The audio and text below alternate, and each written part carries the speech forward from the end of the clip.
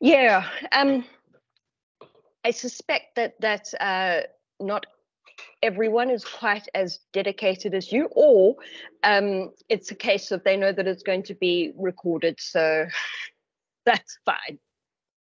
Just let me turn off this transcript notice. notices. Yeah, I absolutely hate it. Uh, let's rather show chat. Um, you see, when you're on Teams, I see you being on Teams. Okay. Yeah. Okay. And then when I do that, you see this. You see Yes. the slides. yes, I see. Okay.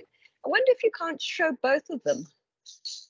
Um, normally they say you you can't Normally you can. when you're on. Oh, really? Yeah, yeah. Ah, okay. Um. Yeah. Mm, hang on. There's another way I can do this. Okay. Uh, stop sharing. Yes, then I can see you.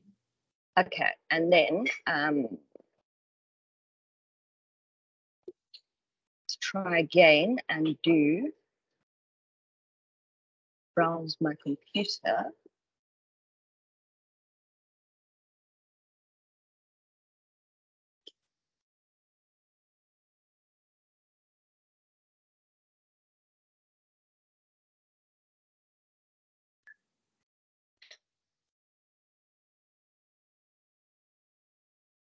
There we go. And with regards to um, the slides that have voice notes, is that like not allowed? so is that like not allowed to be done anymore? Uh, no, you see, the problem with that is that I absolutely hate it. It's I can never see the reactions, so it's like every point I I need to um, explain, and I it, it goes on forever. I mean, literally, you get three hour three hour slides, so it's just Okay. I did that in the in the first year of COVID and absolutely hated it. Uh, so from then onwards, I, I just did it um, this way. Uh, Okay. did yeah live, so that it's also you know because otherwise there, there's no interaction, and actually you need to be able to ask questions. Okay. No, I, I get you. Yeah. Okay. Nokubonga is also in the meeting. Was invited to the meeting. Hopefully she's easily there. No, she is here. Okay, that's great. That's great. All right. Now, are you seeing a screen? Yeah. The, are you are you seeing me and the the slide? Yes, yes. Okay. Cool. Cool.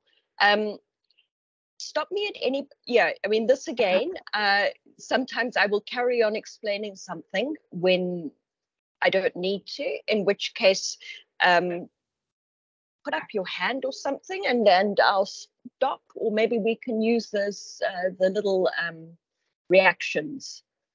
Yeah, Yeah. yeah. Show me a thumbs up if you understand, and I will move on. Show me a hand if you want me to carry on. Um, and in, sorry, yeah, and and interrupt me. Um, it's fine. There there few enough people here that um, I'm sure that will be fine. Okay. All right, and we are indeed recording. Yes, we are. Okay, welcome. Good to see people here. Uh, Zintle and Nokubonga, Bonga, sorry about that, and Gabriella. All right.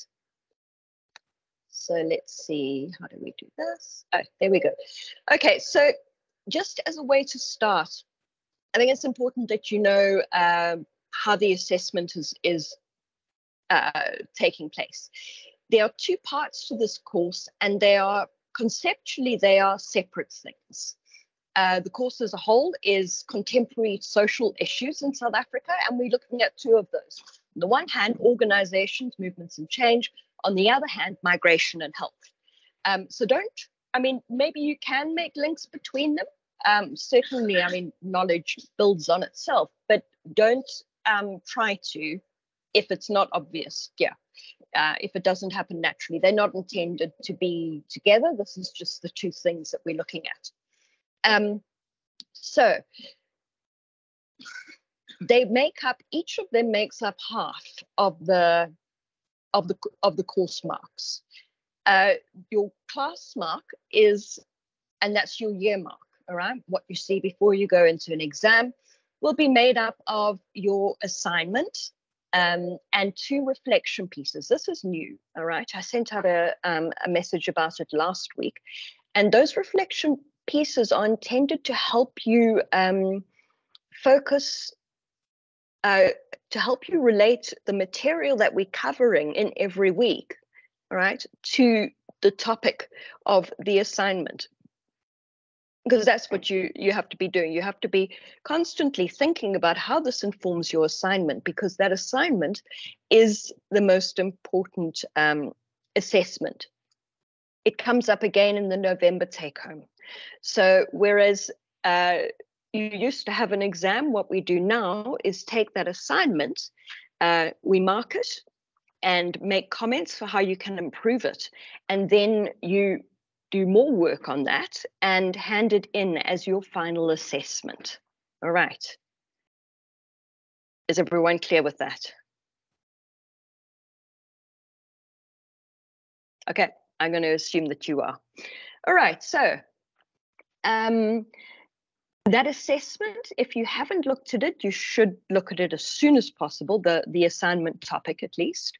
It's around uh, trade unions in South Africa. Are they still a vibrant force? Are they still um, uh, a way that that uh, the general public and those who are the non-property, the poor people, all right, who aren't who aren't catered to by the existing channels, you know, the ones who can't go and hire a lawyer and take cases to the constitutional court. Um, that is how they respond through social movements. That's how the government hears from us normal people. Uh, and trade unions are an essential part of that. Um, they've changed over the years quite remarkably. Um, they've played a, a, very important role, but the question that you asked in your assignment is well, are they still there? You know, are they still playing this role? Um, a good place to start is to read the one of the last readings um, put forward for the for week seven, I think, uh, by um, Webster, Eddie Webster. It's a short uh, article that was on the Daily Maverick site, and you have it in the the hard copies. If you have a hard copy, alternatively, um, you can you know the the http address is in the the course outline that's online. All right i haven't put it online because you can simply click through. And where you would normally find your prescribed readings under the modules uh, you'll find that with the link that you can click it'll take you to daily maverick.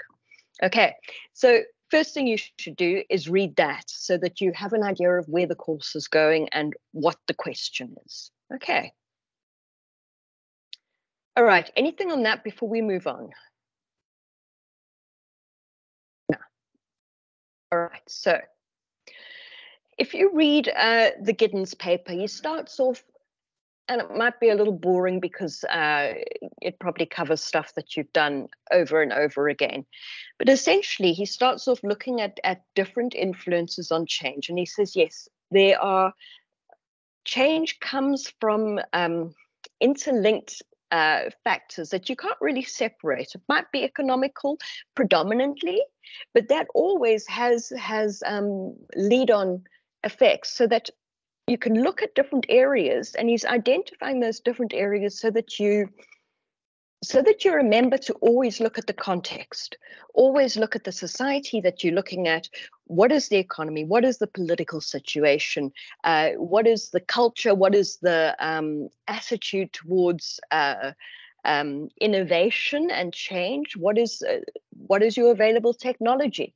Just the the fact of the technology that we have access to um, makes a fundamental difference. Well, maybe not a fundamental difference, but makes an makes an enormous difference on the kind of way that that social change can take place and the kind of influences that that can drive it.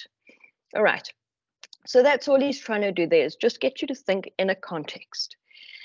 What we're doing in this course is um, looking at what people do, looking at collective action as a group of people coming together. We're focusing on how do people change society. All right, so we're taking all of those factors. Yes, they're all interlinked. We're focusing on people and organization, how they feed into existing organizations and existing structures of society, and how they change those if they do, but also how those um, existing structures of society, existing institutions, influence the way that collective action takes place and uh, the possible areas that it can or that it's or rather that it's likely to or not likely to take place in.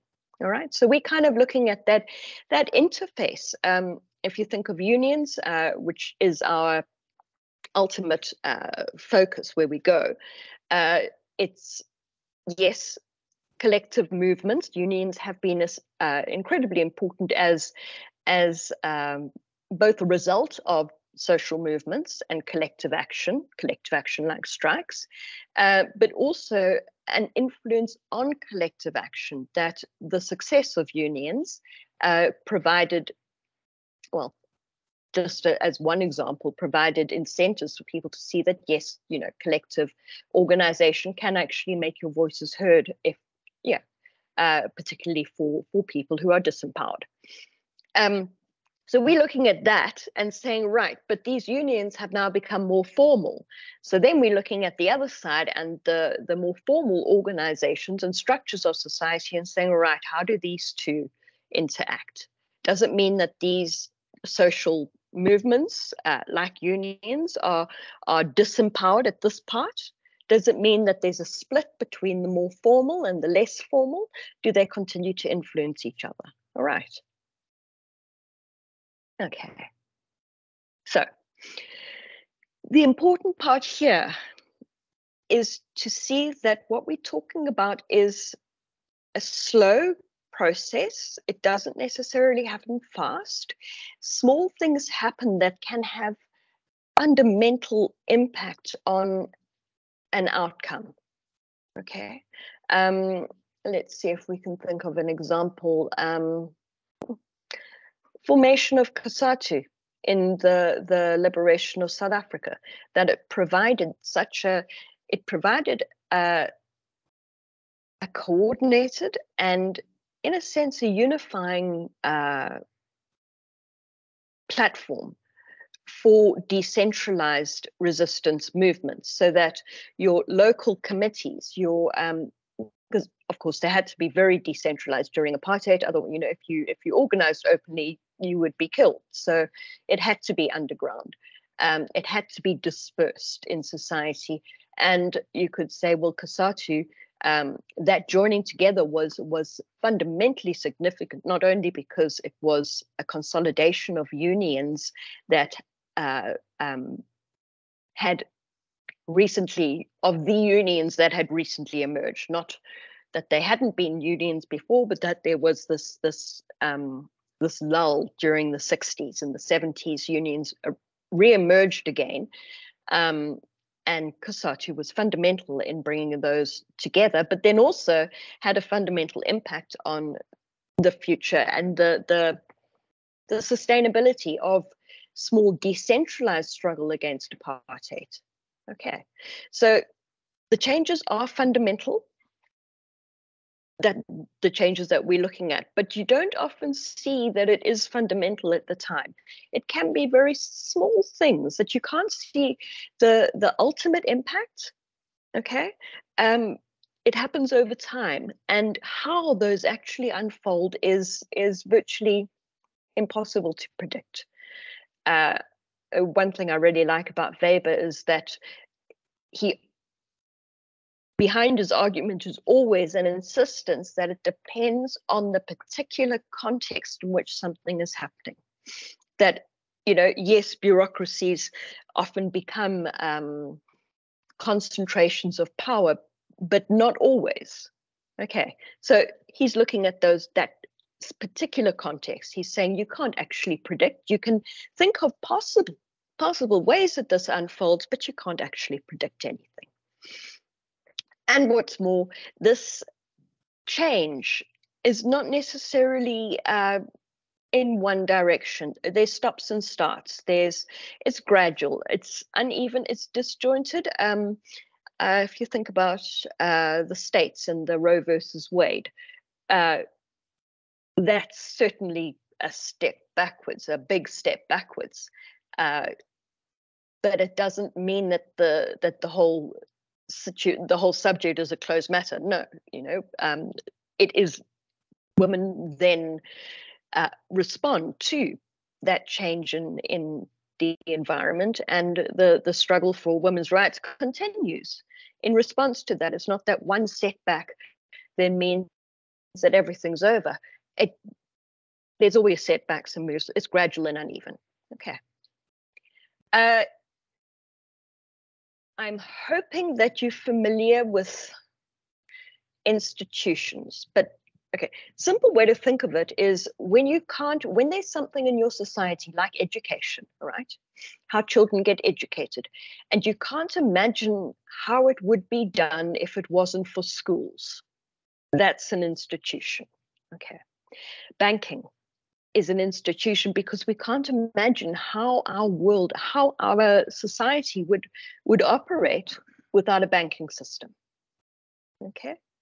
Uh, religious institutions again uh, think of how enmeshed they are in every part of your life even if you're not religious uh, the state is an institution all right so those institutions they organizations um, that have become so entrenched and so much part of our culture and our way of life that we couldn't imagine our society without them. Okay and those institutions they they carry a lot of they almost like the material representation of culture. So they reinforce culture. I mean, think of um, uh, institution of marriage and how that reinforces the patriarchy, the patriarchal system of, of men dominating women, of taking your husband's surname, um, etc. Et okay, so institutions embody and reproduce and um, give give body, I suppose, to culture. All right.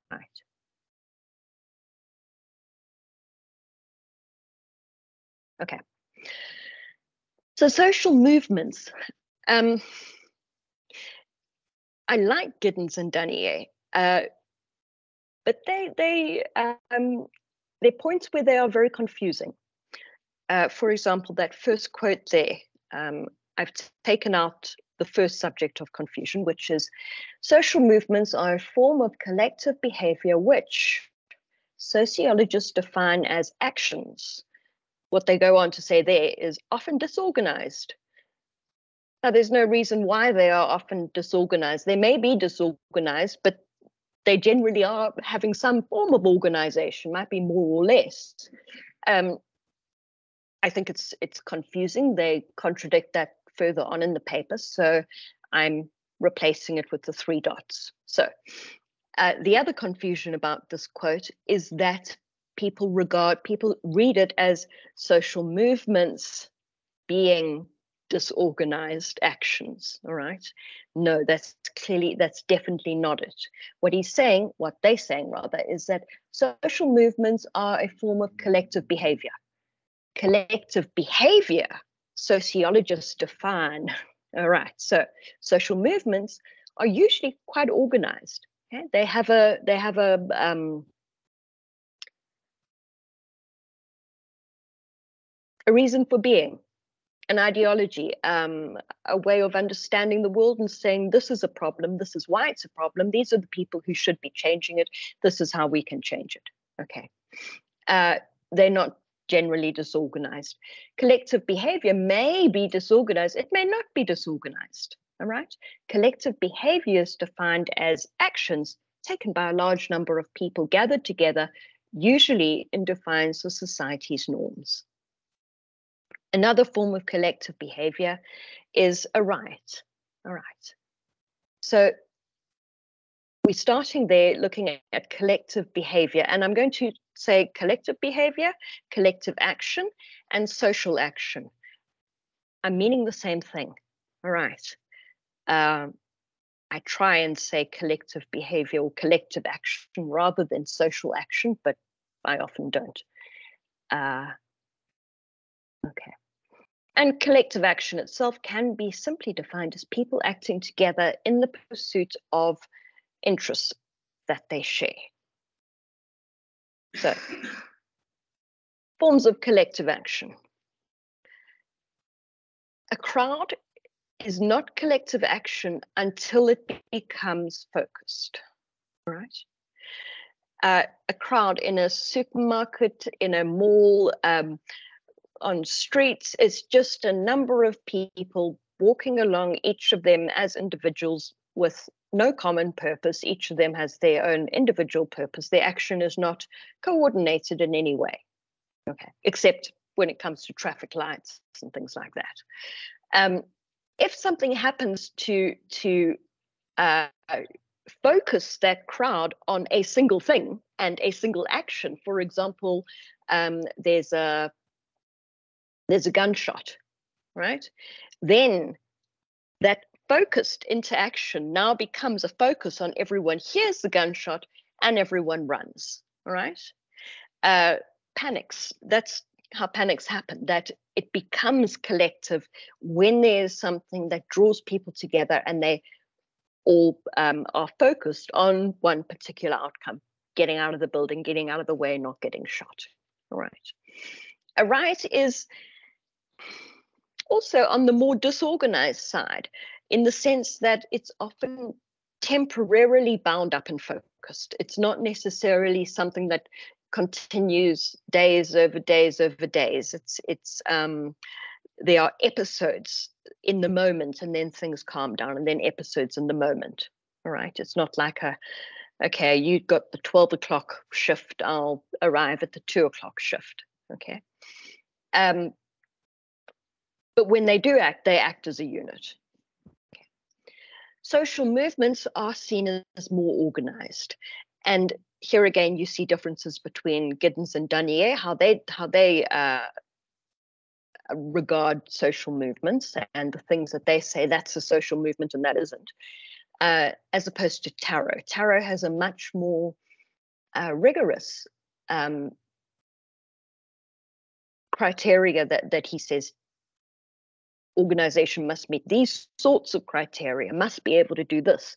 And he's primarily looking at their sustainability um, in order to be considered a social movement.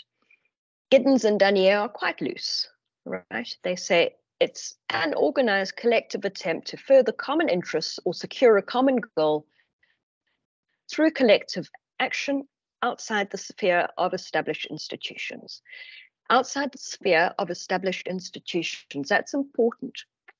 Think of how our society is. The people who are already represented and the ones that this society works for, the ones who don't have their needs unmet, are the wealthier people, are the educated, are the urban people, um, white people. Uh, they have better, they can work, okay? Wealthy people can work within this context. They don't struggle to make their voices heard. The established institutions, the people who are happy with them are the people that those institutions serve effectively. The ones who aren't happy, who can't work through those institutions, are the ones where the collective action comes from. Okay. So it is almost by definition outside established institutions because if it wasn't outside, well, then it's working through the existing institutions of society, and there are existing ways to influence uh, policy, to influence um, uh, implementation of policy, etc. Okay, it's the people who can't afford the lawyers, in one sense. Um, revolution is a far more a far less predictable and a far more um, contested area. Uh, some theorists go so far as to say it's it's when there are multiple sovereignties, multiple, you know, not just two opposing positions, but two or more opposing positions where they are are contesting absolute authority over society. Um, that they really are the true representatives. Okay, and that's again uh, another thing that you're going to see there is cycles of contention. That it's not just something that happens. It's not one movement. It's it's a slow over time build. Um, yeah, that doesn't necessarily it's not necessarily or very unusually actually the outcome of collective action. Collective action normally uh, is responded to by formal institutions which then adapt and change the context um, and then you know there are periods of lull and then periods of emergence of collective action again as change goes on. All right. Okay. Now I want you to think what conditions do you think give rise to collective action? And there's dissatisfaction in every society. There's poverty, there's inequality. But what makes people join together to collectively take action? To collectively strike, to collectively march, to um, occupy a building. Okay, I want some suggestions.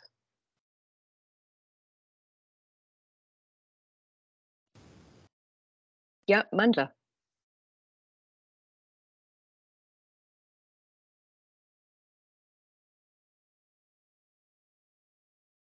Nothing. Is it too early in the morning?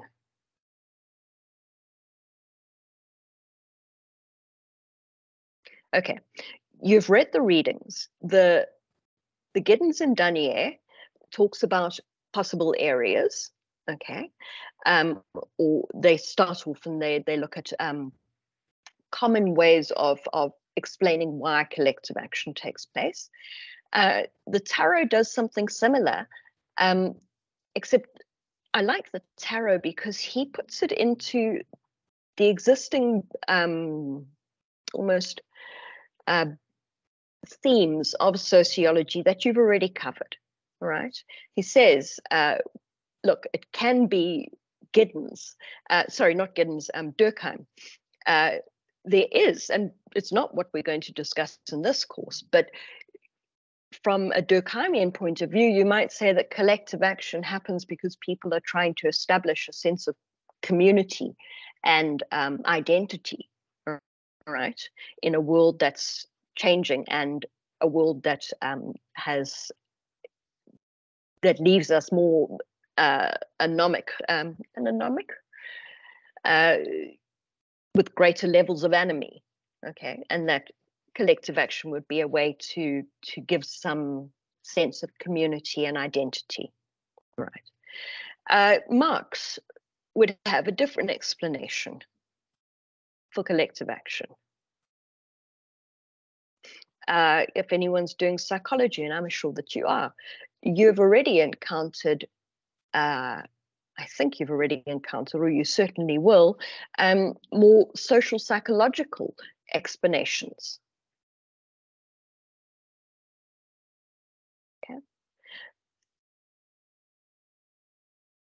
Um, I think yes. From, hi, I think from what I read about Marx, it's when there's like a change in the base in the in the what does he call them economic.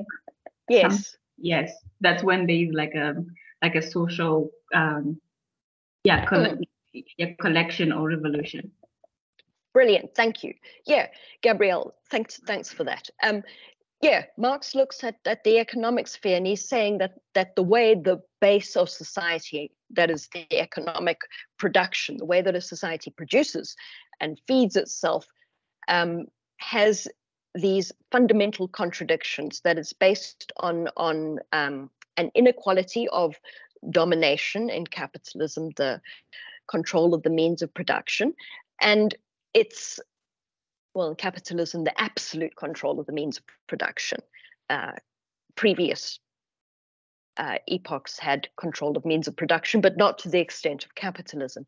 And that that fundamental structure of society means that there is this uh, perpetual contradiction, perpetual tension between the owners of the means of production and those who don't own but must work in order to live um, and must be employed in order to access the means of production that they can then feed themselves from. Uh, they can't eat their possibility of laboring. All right, they have to actually um, be able to match their labor to something out there. All right. Um, that looks at more structural factors than, for example, your crowd psychology.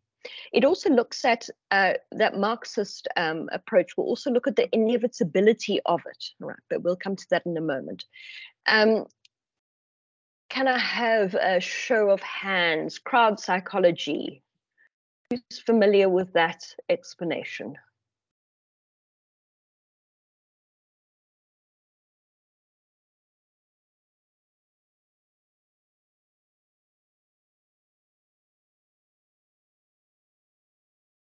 Okay, you've been at home too long. Um, try to get. I, I know that that it's expensive to travel, and that you've you've organized your lives so you perhaps cannot come out, but um, be very careful about just getting into a into a rut where where you don't want to interact with people. It's fun to interact, all right? Um, spoken from someone who doesn't like interacting. It's great being back in class. Okay, crowd psychology. Crowd psychology is a more psychological, um, well, no, actually, that's an insult to psychology. It, it has its, its history, its origins in the fear of the crowd. So uh, more privileged um, structures of society or more privileged people in society uh, see this crowd as being um, a danger to them. It is a danger to them. Uh, it is a, a mass of people who threaten them because they want to change things. They see that crowd as as irrational. They don't see it as having um, particular aims and uh, logic, you know, rational reasons as to why people are marching. They see it as a, a terrifying thing that happens from the mass rabble out there. All right. Uh, they look at it as individual things. They're not seeing it as part of the structure of society. They're not seeing it as something that is inevitable. They're seeing it as as people who who in the emotion of this crowd, in being whipped up by leaders or rhetoric or whatever, are losing their sense of rationality, are losing their self control, um, that they become irrational and do terrible things in crowds because of almost like a contagion, right? There's a crowd, and people next door uh, get equally emotional about it and hit up and join the crowd. Okay.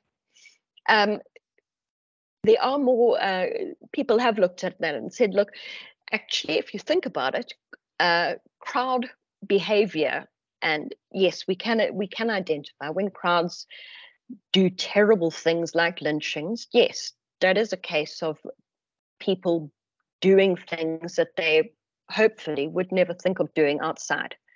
Okay, that it is in the moment that it happens.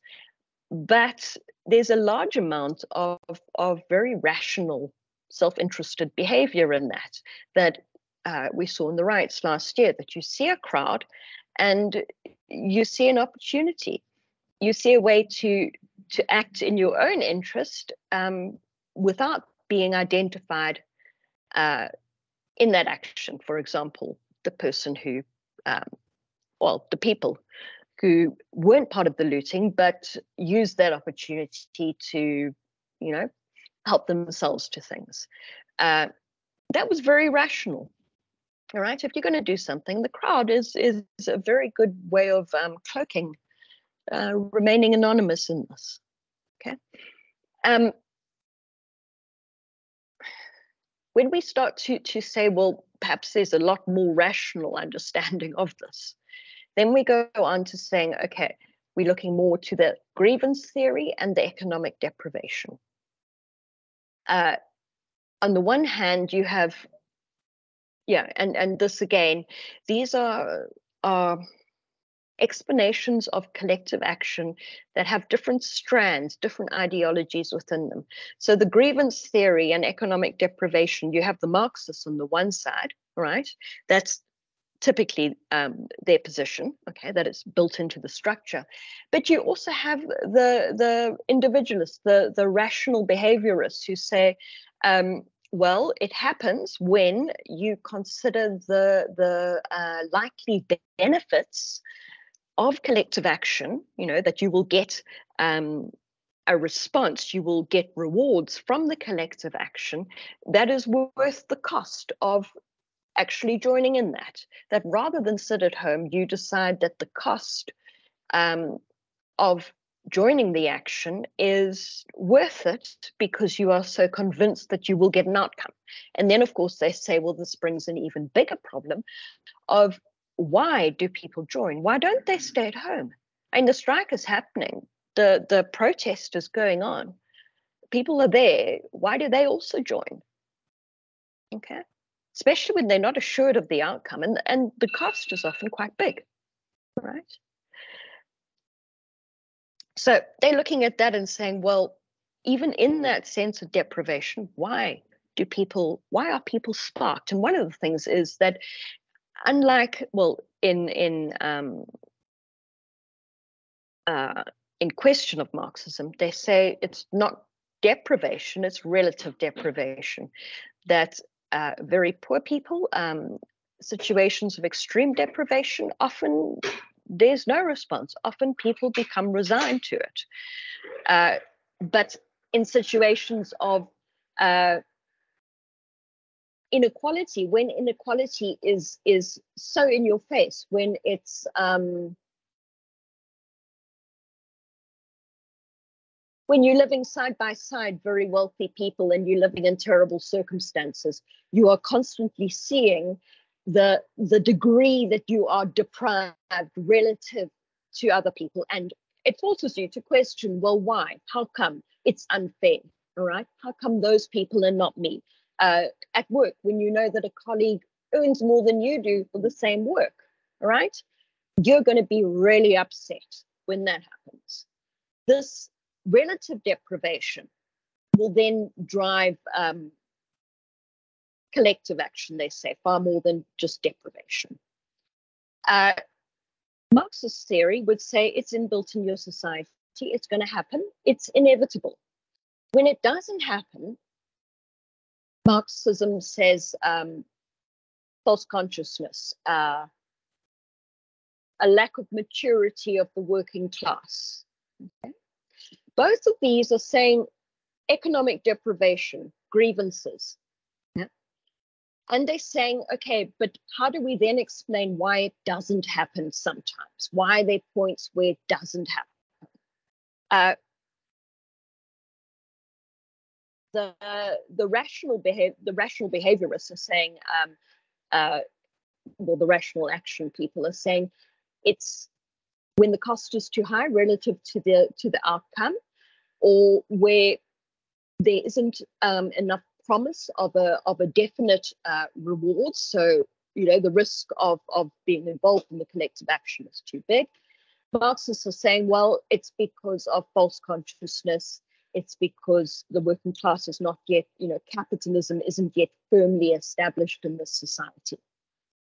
So from there, we have the next ones. In response to these problems, you have the groups that say, okay, well, actually, it might be a problem of leadership and resource mobilization when, despite unpleasant circumstances and deprivation, uh, protest action doesn't happen. Maybe it doesn't happen because there isn't effective leadership. There you have Lenin and the argument of the vanguard class, the vanguard who must, um, well, not really the vanguard class, the vanguard who, who must lead the working class and uh, conscientize and um, mobilize, all right, uh, around Marxist ideology, um, spread the ideology, the understanding, in order to uh, enable that working class to sustain collective action in opposition to capitalism and to achieve a revolution. Um, the rational action people would say, well, it's leadership, yes, but it's also the resources that are there. That what kind of resources are these people mobilizing? And think of resources in quite a broad way, that it's not necessarily, um, yes, it's material resources of finance to bus people in, right, to print pamphlets perhaps, or not these days though. Um, but also resource mobilization in terms of symbolic um, resources that that bind people together, that mobilize people. Uh, struggle songs. Struggle songs would be uh, a very powerful resource to use in mobilizing action. They uh, struggle songs have behind them the legitimacy of the anti-apartheid movement.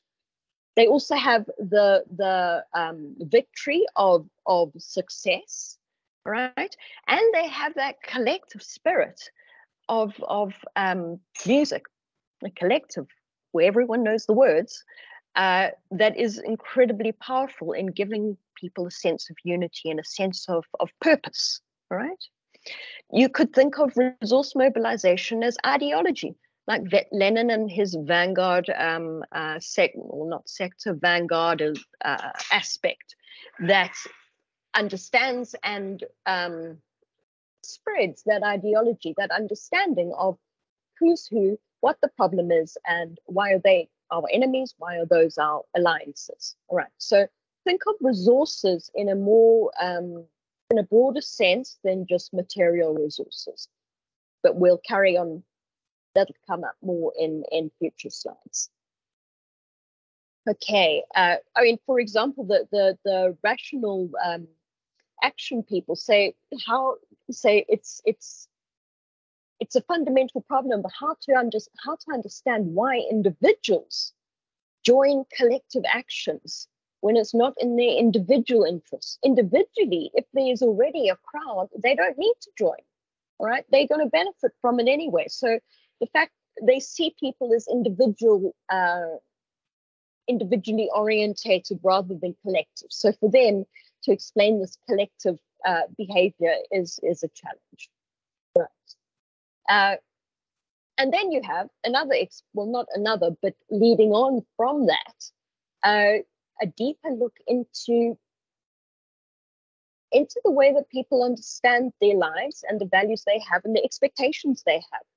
Uh, and here, probably the most influential person would be Gramsci, right? Who looks at uh, the working well he looks at the situation and he says look what you have is a cultural hegemony. You have such a fundamental thoroughgoing acceptance of the way things are that this is the way society operates that competition is intrinsic to human beings. This is instinctual for us. Um, and that to think of anything outside is just ridiculous. This is the way that it is because this is the the only way that it actually does work, right? And Gramsci pointed out that you have to do a hell of a lot more than just uh, rally up the working class in, in order to challenge that. The working class has, you know, they exist outside of work. Um, they watch movies, they read books, they read newspapers, they are exposed to the broader ide- ideology. They don't just exist in, by themselves. You have to challenge that that um, that common sense understanding of the world. Right? He says pretty much what you're trying to build is counter hegemonic resistance, counter uh, to counter the very um, the base values that explain the way the world works as being legitimate. This cultural framing is part of resource mobilization. It just brings that, you know, it's a more concerted um, cultural so it adds to the the the economic deprivation, sorry, the, the resource mobilization and brings a, a much more um, interesting dimension to it. Okay. Okay. All right, any questions there before we go on?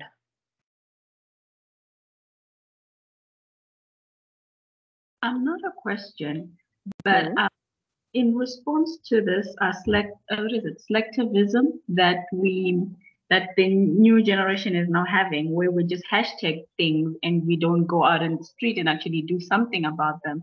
How would um, you know, like it's interesting to see how the theories would, you know, would be developed in like the next five or ten years when when I think really we would I think like selectivism would be at its peak where we literally don't go out of the house and we just hashtag it and then we've done our part but then you know like it, like um you know like then it brings to question what have we actually done besides you know hashtag yeah. interact with our social media?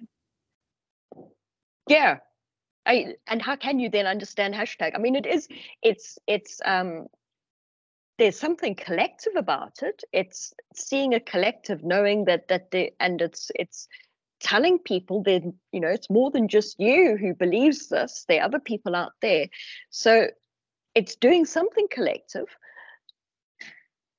But is it as as valuable? It's you could almost say it is doing an element of resource mobilization.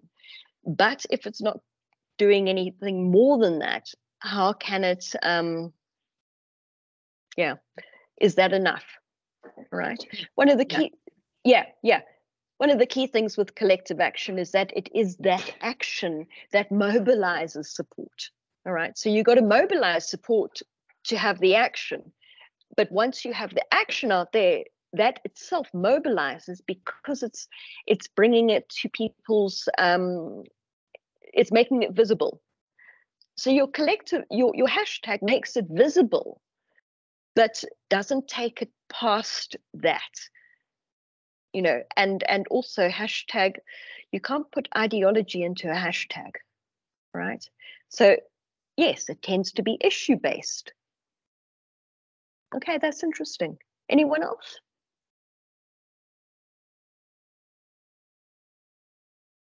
Okay, but that, for example, is is one of the the example um, a way that you can see how technology is so fundamentally uh, shaped the way that we do interact um, and the possibilities for collective action, what we can do, what and what that means. You know, is it going to be as effective? Right.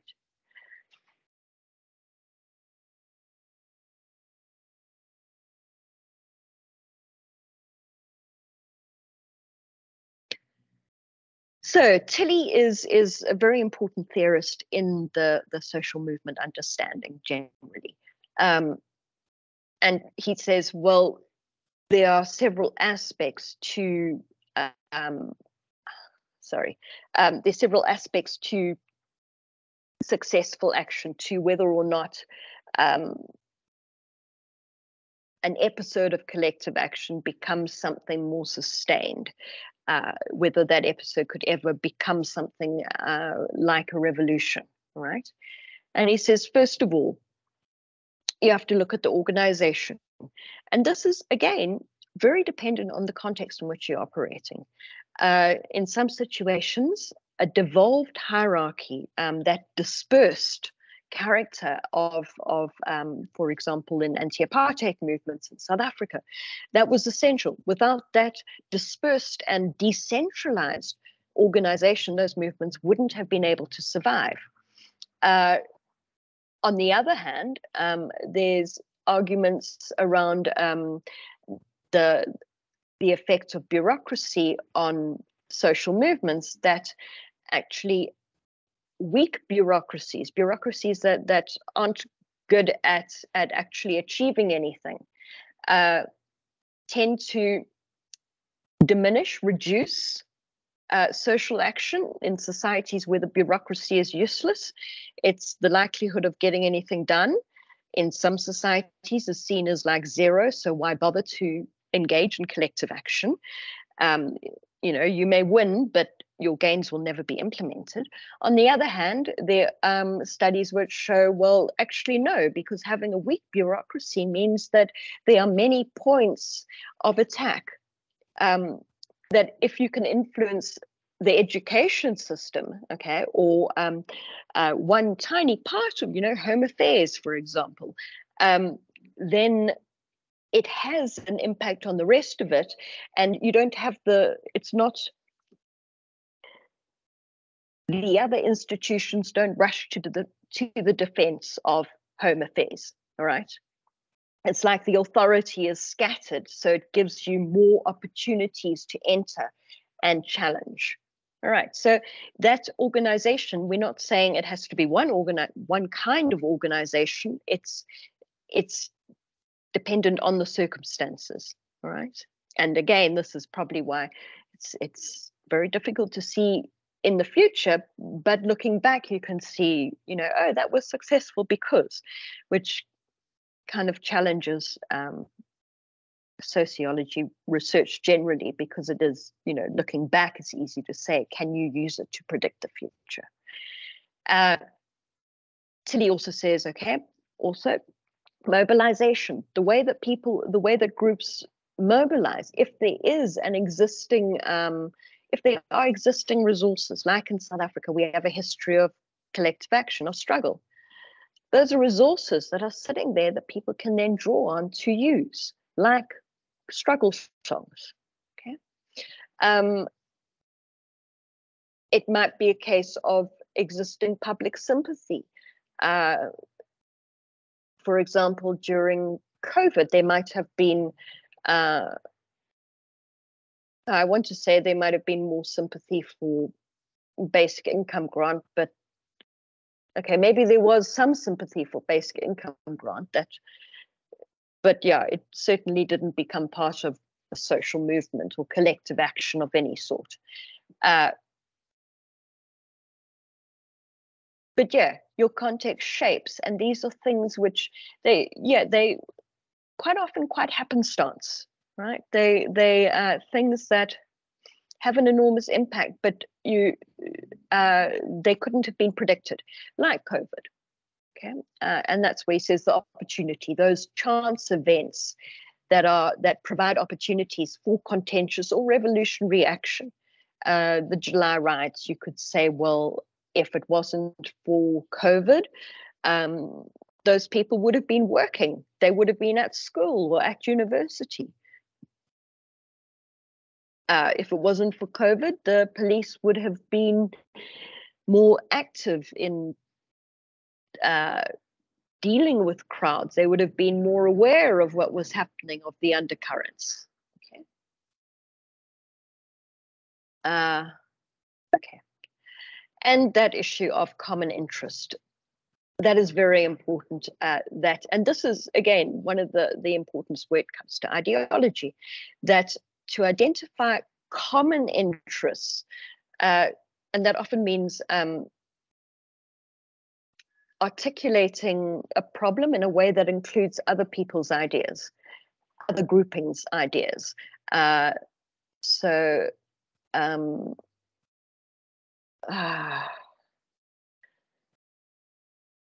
let's see, there, there's plenty of fodder um, for the fire. Uh, you just you got to connect those groupings. Um, it's like the ANC is a broad church, they say, because it had to be it had to accept um, very different organizations uh, communist party um, trade unions workerist organizations um, black bourgeoisie who had their land expropriated right? Those are different interest groups different interest groups that in some circumstances would be seen as fundamentally opposed to each other. The ANC, by being that broad church, managed to rally them around that um, that one focus of racial inequality, right? Of liberation. Uh, it didn't it didn't force anyone to have to give up their their other beliefs, right? And that sense of a common interest and strategic alliances with um, uh, you know, like the EFF is doing around uh, uh, xenophobia. Okay, very strategic. This is where this is this is it has public support. It has public resonance. Right, it's going to win you followers if you associate like that. If you associate with those groupings, it's kindling for the fire that you you just need to gather it up. All right. Okay. All right. Can anyone tell us? Can you think of examples? Anyone want to contribute?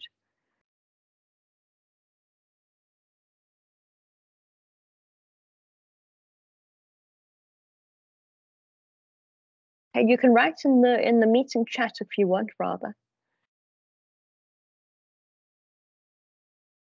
Okay. Um, just for those people who, who arrived late, if I'm carrying on about something that you already understand and I'm going on and on, it's because I don't know that you understand. So when you do, um, a thumbs up really helps. Uh, and then I know that you understand. Um, hand up and I will ask you. Um, but also, you know, there, there, are few of us here, and I don't see how many people there are, but I think there are one, two, three, four, five, seven people. Okay, so there are few of us here that really interrupting is not going to create a problem. So, you know, if you have a question, ah, Mandla, thank you. Operation Dudula, yes, very definitely looks at existing situation, particularly in COVID that that real desperation that people have and and that sense of of of being being uh, being your citizenship rights are not seen as giving you anything.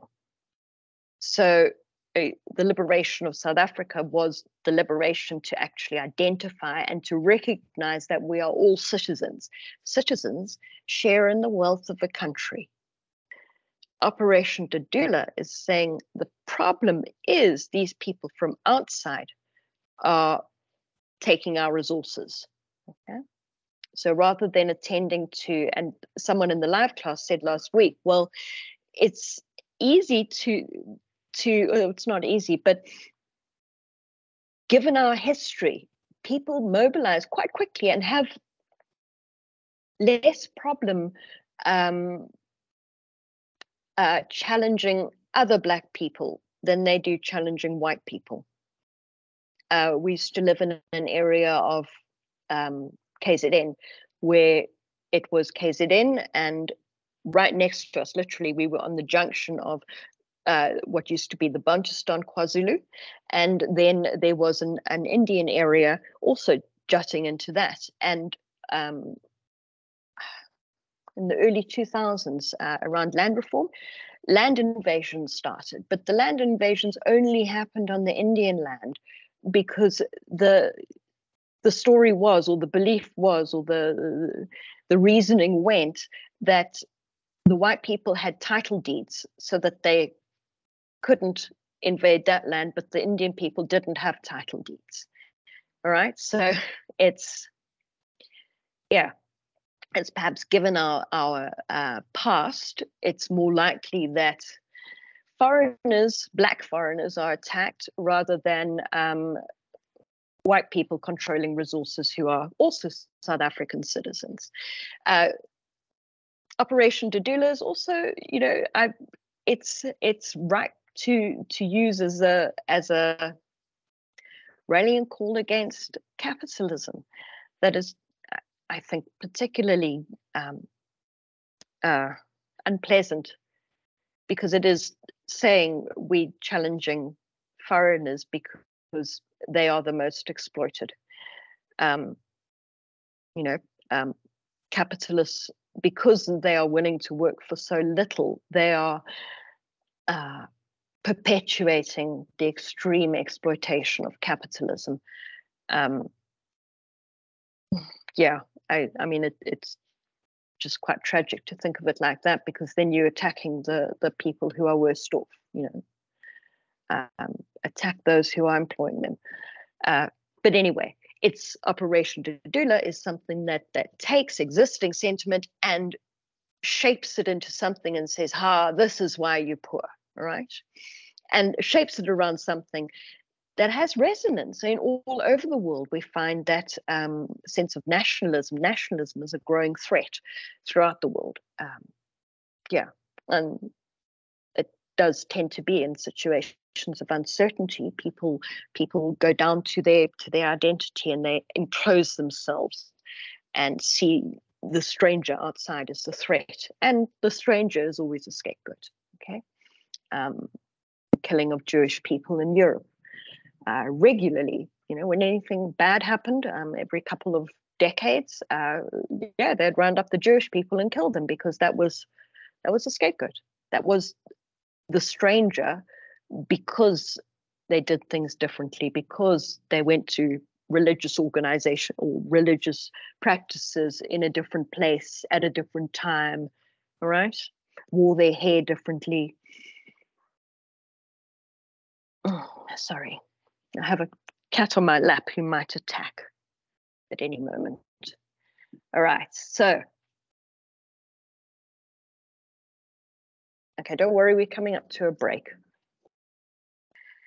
Uh, this is from both Tarrow and Giddens, but I think Tarrow is a better a better reading um, for this.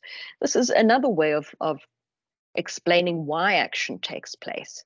That yes, there's all of this in in a society, there's all of this unhappiness or whatever or needs not being met. And it is the the nature of the political structure that provides opportunities for people to see ah we can protest there whether that opportunity is um, a shift in power forces. Uh, maybe one of your key parties um, is, uh, you know, maybe a leader is killed, in which case it, it destabilizes the existing power forces. Um, maybe um, particular organs of state, like, for example, home affairs, is seen as uh, having or being uh, more open, more susceptible to uh, the interests of one group rather than another group. Um, one of the examples that Tarrow gives is uh, the American uh, political system, how because they have, because religion is so clearly separated from state, Okay, that separation between state and and and um, and politics and po- state and religion has been so so thoroughgoing.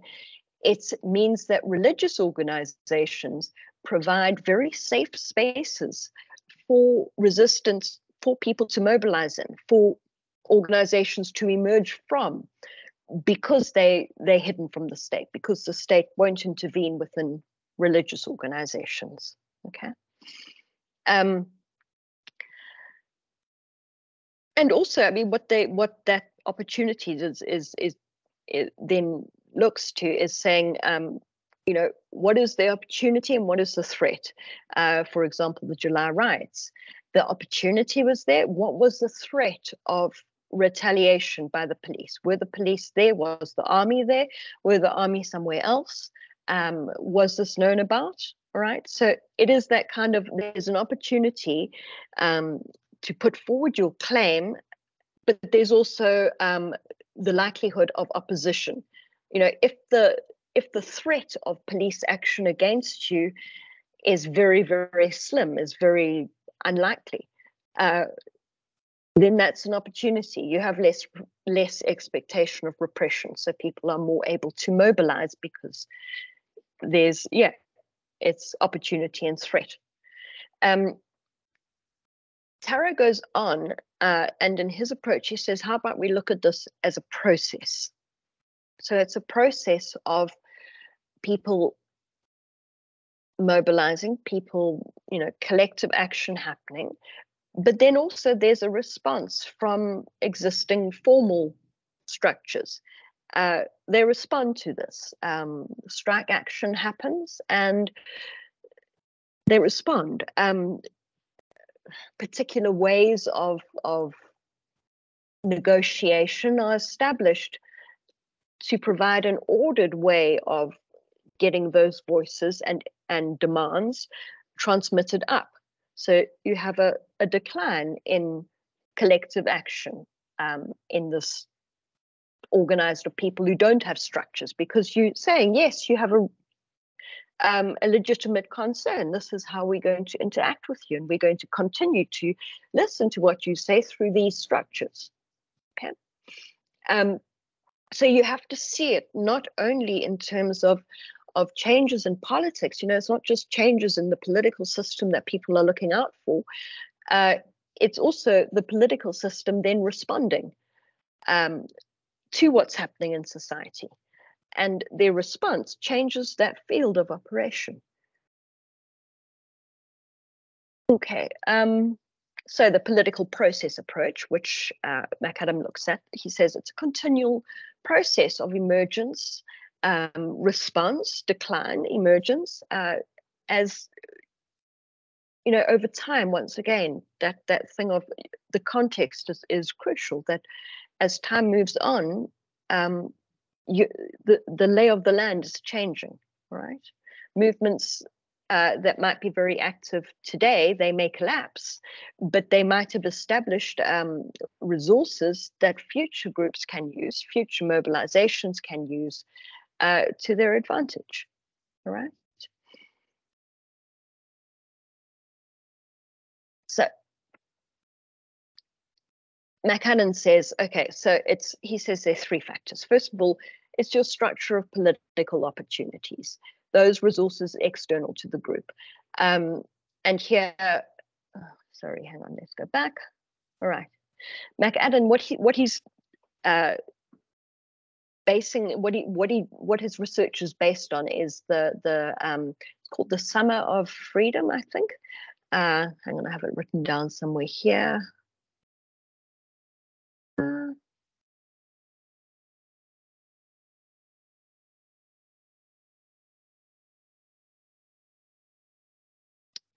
i don't i think it's called the summer of freedom. In 1960 uh where there was a a mobilization of uh, activists and particularly students from the northern states of America to go to the South uh, and join with the civil rights movement to help the um, registration of voters, uh, particularly Black voters, and to ensure that elections took place in a more equal way. And they wanted these students um, to to go there and do this this work but they also knew that they were going to become part of a of a of an incident of a reaction okay?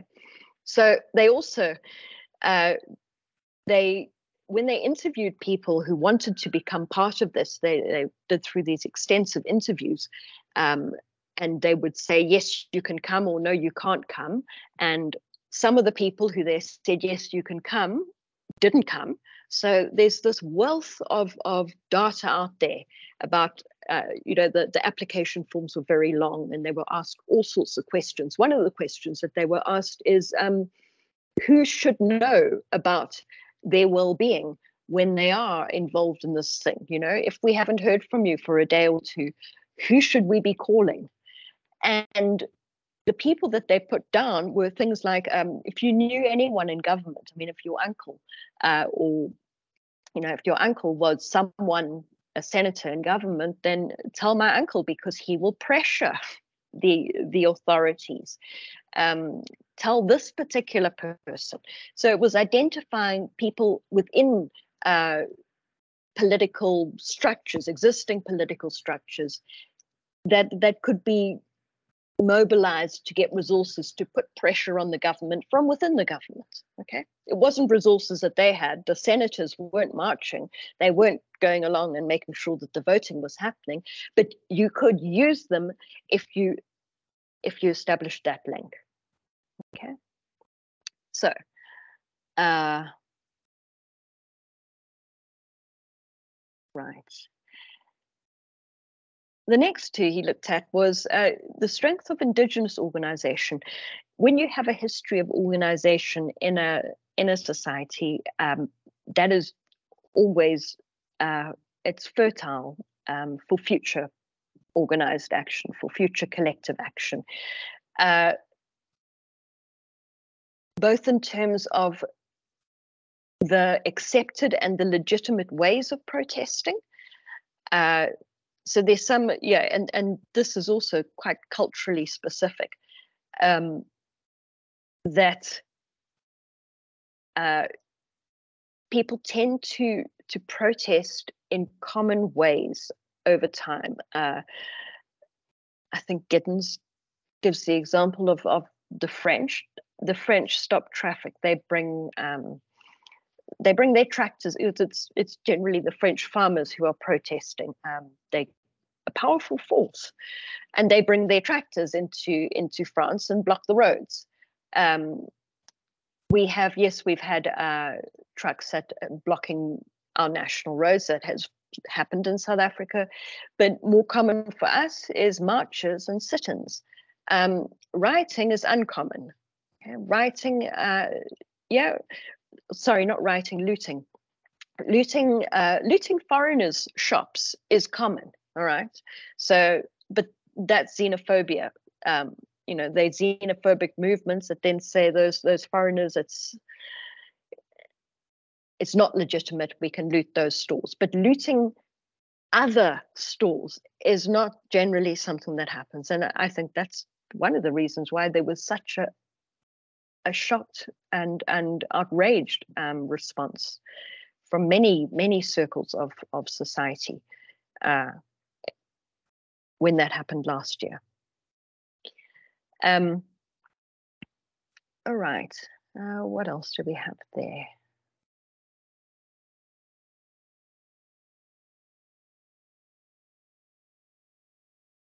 and very importantly, yeah, the cognitive liberation, you know, it's cognitive liberation, the belief that that you can change the circumstance. Yes, it's, important. Um, but we can also think of that cognitive liberation in terms of the kinds of opportunities that you see, because the political opportunities, they all you have to, what what you need is people to perceive opportunities you know if people think that the government is weak they will be more likely to uh, take action to challenge the government uh, which itself if there are enough groups in society doing that will make the government weak but the perception of opportunity sometimes creates the opportunity itself so that's another way that that you know that aspect of cognitive liberation uh, is an important factor.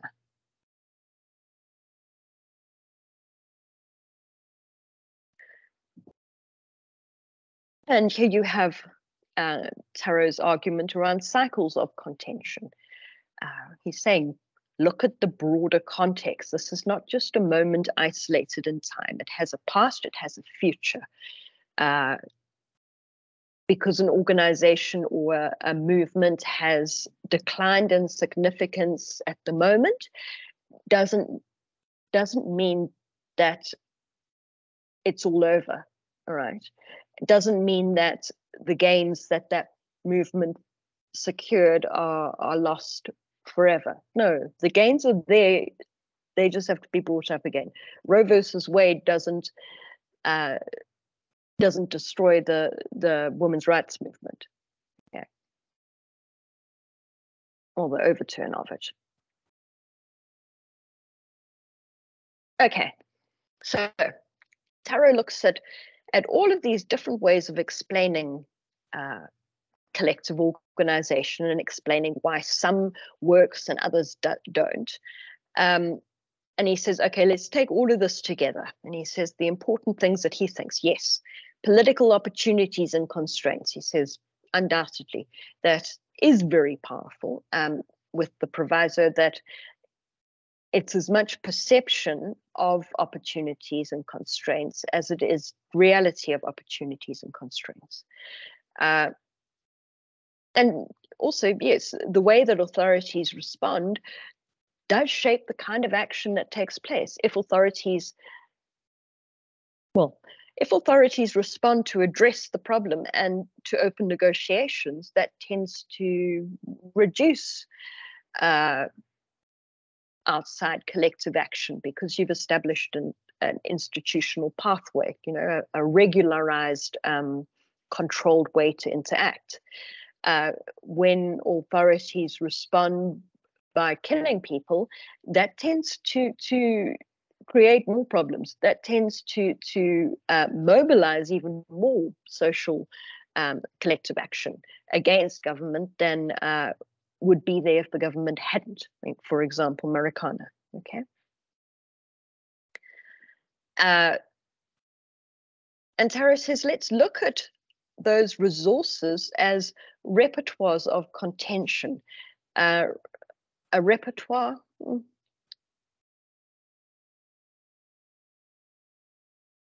a script, okay? Um, a regular, a recognized way of doing things uh, that exist for other groups in society to to use. All right, um, students march, workers march, political organizations in South Africa march, the French farmers bring their tractors in. Uh, there are accepted ways of mobilizing people that are then drawn on in future movements. Uh, what's more, you have those cycles of contention that there will be periods in society where there is very little collective action, very little um, vibrant um, opposition, very little space for, for other voices.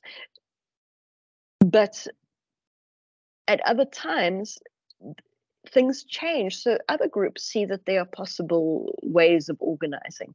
Um, perhaps uh, solidarity as a trade union and how they are trying to become uh, more more useful to their to their members. They are trying to become uh, slightly, you know, less less isolated. They're trying to align with other union structures um, because that that exists out there, and they're not using it uh, without that. Okay, so their repertoires of contention, they're seeing other things happening. They're seeing the possibilities of winning gains if you join that. So perhaps they um, are then looking for ways to organize or get involved. All right. Uh,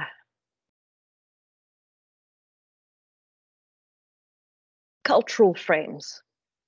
Cultural frames are, I think it's it's absolutely crucial. It it it provides the reasoning for your action. Uh, it legitimizes um, you know, it's not just people protesting because they don't want to pay fees.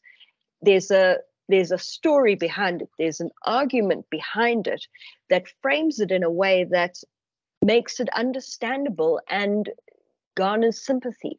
Uh, for example, saying, you know, um, there's yes, they're very poor people, uh, and there's financial aid for those people but what about the missing middle okay that resonates with with middle class people in joburg it resonates with our urban population it resonates with uh, government okay that way of framing something um, framing um, I mean, using xenophobia to frame action. It's taking a problem of, of inequality and saying this is the reason why it's shaping it. Okay. Is this class class going to be saved? Yes, indeed, we are taping it. All right, and the last point before we're going to have a break shortly. Um, and Tarrow here is drawing is drawing from McAdam in highlighting the importance of networks All right. And think of networks once again, if you go back to anti-apartheid, anti-apartheid movements, those decentralized um, groupings, what you need to have a large group is often very difficult to control. It takes many resources. Um, it's not practical and it's difficult. Uh, if you can establish connections with many different smaller groups, that in fact is, is much more powerful because you have those groups, their members who then come out in support of yourself. Uh, being entrenched in those networks has an exponential effect on the power that you can exert. And of course, the likelihood that that people will be mobilized uh, with the American South, the, the Freedom Summer. Um, they found that the people who who who were statistically significantly more likely to attend uh, this this action were those who who were involved in networks that had links to civil rights movements. Right, so it wasn't a case of of people who had um, a family history of political action necessarily. It wasn't people who had um, uh, strong Marxist views. It wasn't people who uh, were deeply committed. Okay, there were people who were deeply committed who didn't turn up. It was that that enmeshment within networks. Um, and one of the arguments is that that there were so many, you know, the more networks you're involved in, the more people, the more um, the more impact your actions have, uh, both for the future of your life. You know, if you tell everyone that you're going to join this, um, and uh, you're involved in a number of different groups, and they all get to know this, and then you don't go, it has an enormous impact on well your personal future and relevance um, but also on on you know the strength of those networks. Okay. All right. So last thing is two quotes from Tarrow which this is the point that I made earlier around Tarrow having a much more rigorous uh, uh, criteria, more rigorous set of criteria for actually um, identifying social movements.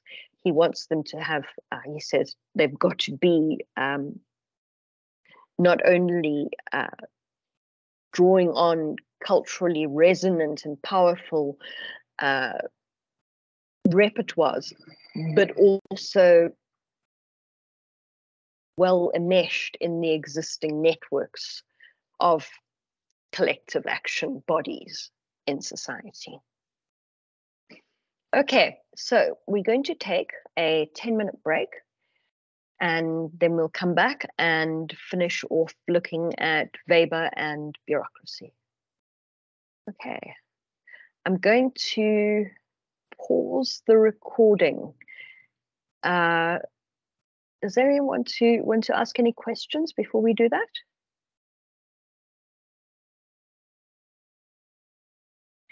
Okay, I'm going to pause the recording.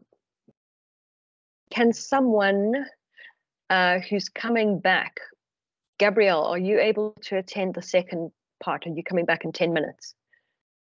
Yeah, I'll be back in 10 minutes. Brilliant. Okay. Can you remind me to please start recording again? Because I'm going to pause the recording. No problem. Thank you. Okay. Take a, a 10 minute break. So let's say we are back at uh, just before 25 to. Okay. How about we say 25 to? Okay. At 25 to, we, we come back.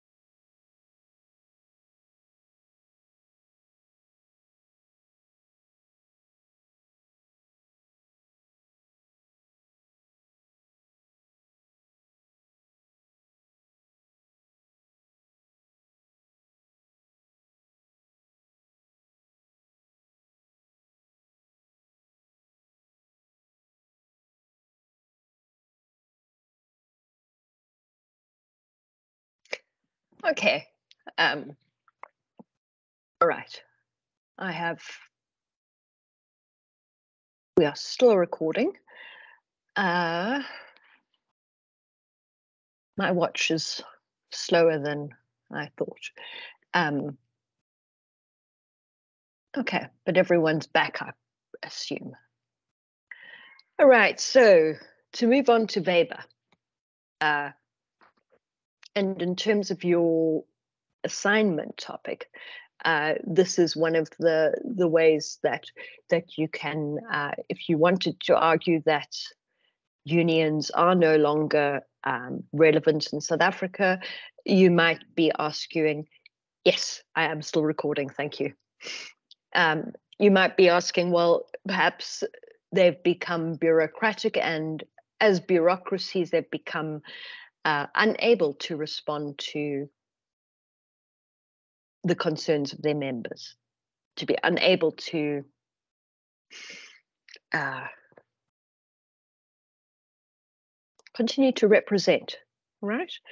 Um, it starts from the position that you assume an organization, a social movement that is successful grows in size.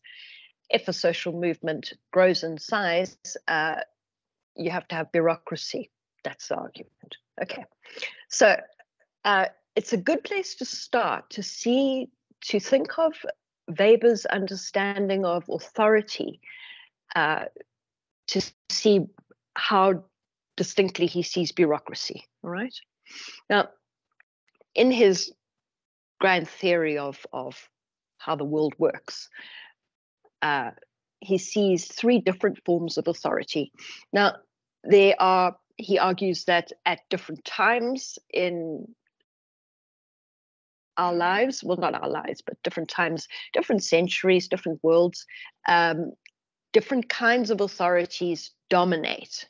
But you will find, usually, certainly today, all three forms of authority still active in any society, virtually. Okay, that that would be traditional authority. Traditional authority, it's authority that you have as as a as an established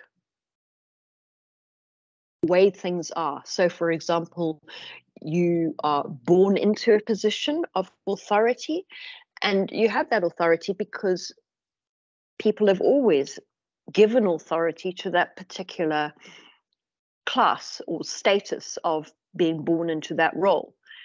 Um, it's looking back to to the past, but it's also maintaining that that connection with the past, so that it's reproducing and existing, and almost the the the basis for legitimacy is that it used to be like this. This is the way that it was. This is the way that it is, and how it will always be. Okay charismatic authority, that's great figures, okay?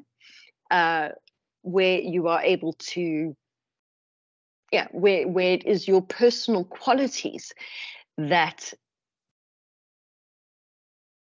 are the reason why people accept your authority and why you have such an authoritative impact on people, why you are believed, why you are um, considered legitimate, uh, a rightful, a proper exercise of authority is because of who you are.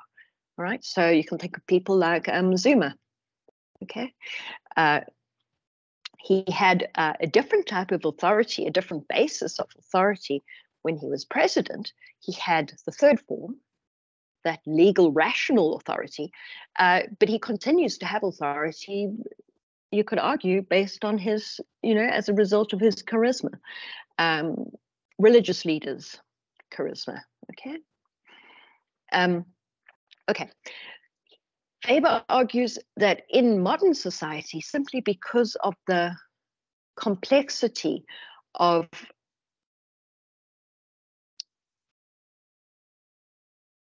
interactions, uh, the complexity of organizations, uh, the diverse functions that are happening, and that need to to be able to the need to to be an authority to control that situation requires a much more abstract more abstract but more less contested kind of authority. Okay you can imagine charismatic authority one charismatic leader challenges another um, traditional authority no not very challengeable um, except by the opposing country perhaps um, legal rational it's saying there are many differences in this society we can't uh, gabrielle yes um, your slide, are we? Uh, I'm like, we're still only seeing traditional authority. You haven't. Um, ah. Yeah. Okay, let's go back one. Are you now seeing it? No, not yet. Huh. Oh wait, maybe it's just me. I don't know. Other people, it's unlikely it's just you. Uh, Hmm. Yeah. Okay, I have a way around this. Well, actually, no, I don't. Um, still not seeing. No. Yeah. Try moving okay. to the next slide. Maybe it will. Yeah.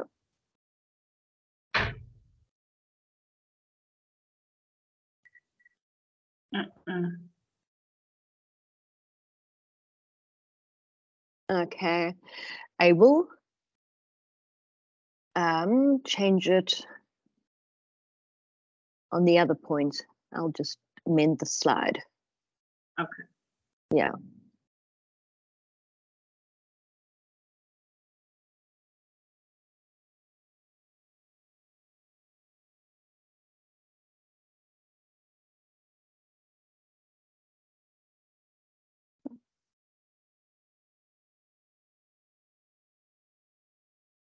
Right.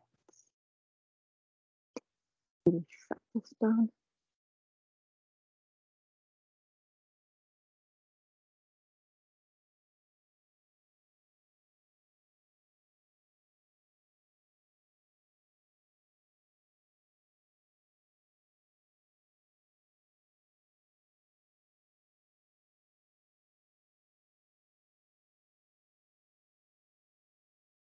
Uh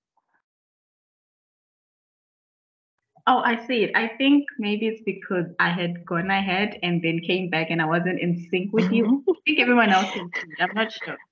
Sorry for that. Okay. Does everyone else, can I have at least one other person? They've all gone to the toilet and got locked in there. My okay. slides have always been sociology catch up week one and two. Nothing has been changing since we started.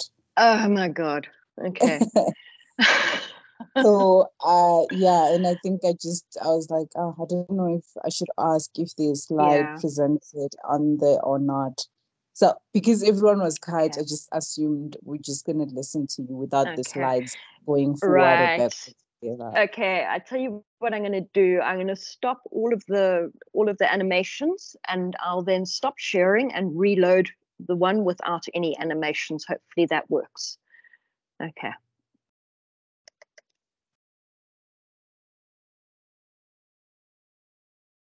No cat.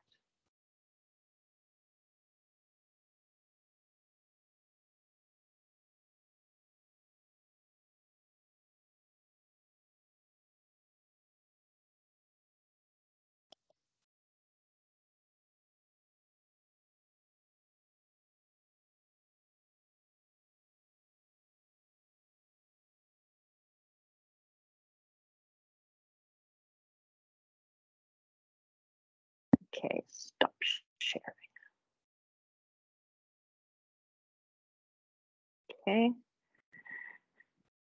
Right, so we stopped sharing and then let's share again the other one.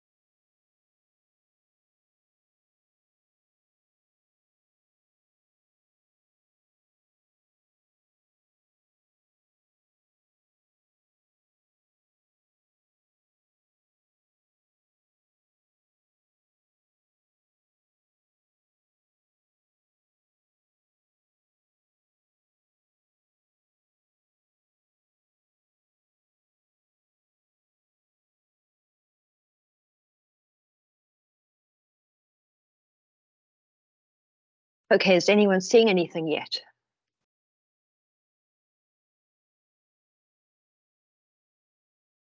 Ah, thank you.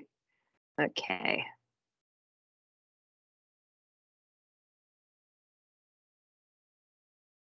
All right, are you seeing Weber different forms of legitimate authority yet? Brilliant. okay, okay. There we go. Right. So, legal rational authority uh, stands back and says, okay, there, there's there are different ideas, there are different needs, there are different beliefs in this very complex society. Uh, what we're going to do is agree on a process uh, of identifying authority. Okay, so it is uh, it's a legal and rational way. Um, rational when Weber talks about rationality, and there, there's yeah a lot of uh, writing around this. He's not. He's meaning that there's a that there's a set of reasons for doing things in a way, in a particular way. He's not saying that those are that it's the best way to do something. He's not saying that it's the most efficient way.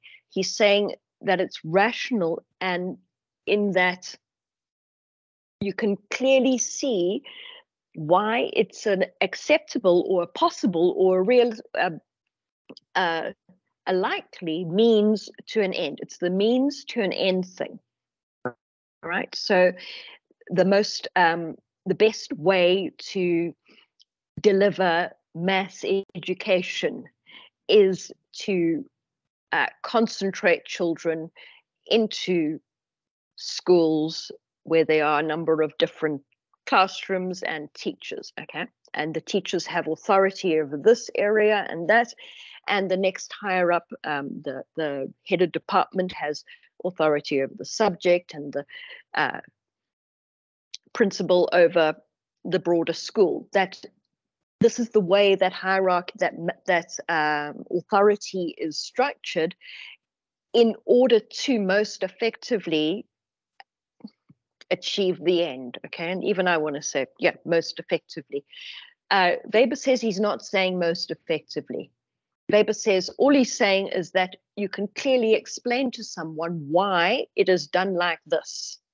And you'll explain in a means to end that in order to best or in order to uh, provide mass education at the lowest financial cost, uh, this is the way that it is done. Okay. There are reasons that you can argue. Okay. You can go back and argue the reasons, but you can argue them, unlike charismatic and uh, traditional authority, when the reason is unarguable. The, the person is charismatic. Okay.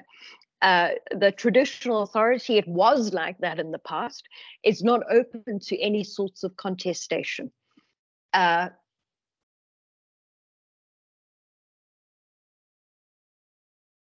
This is also related to, it's common, Weber sees it as more common in modern society.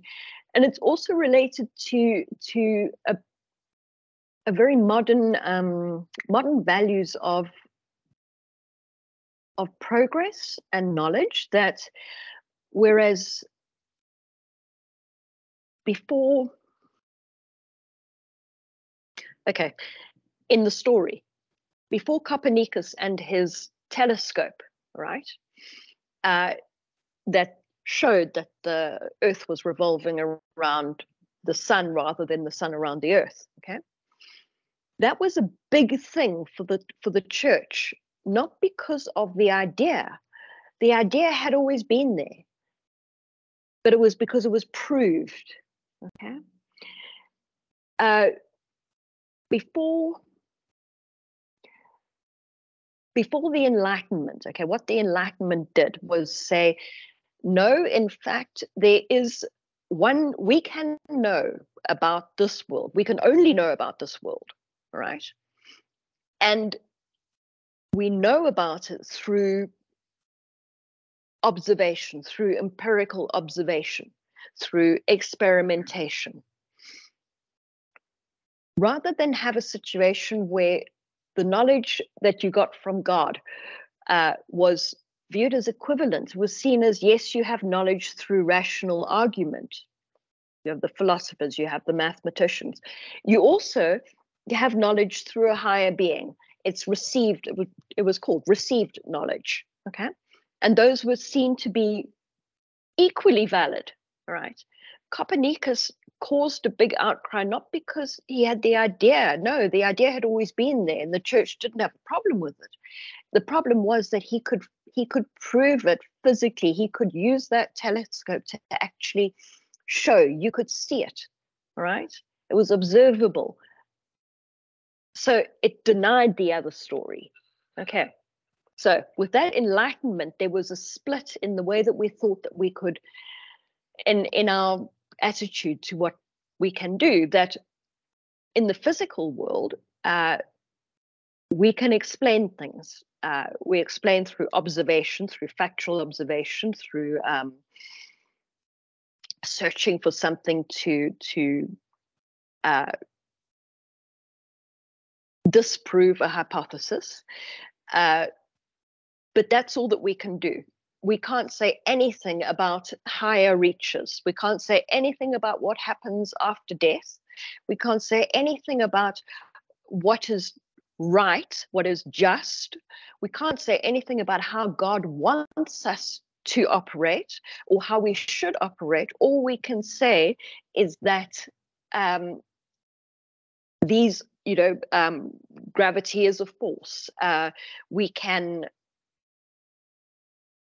impose order on a society.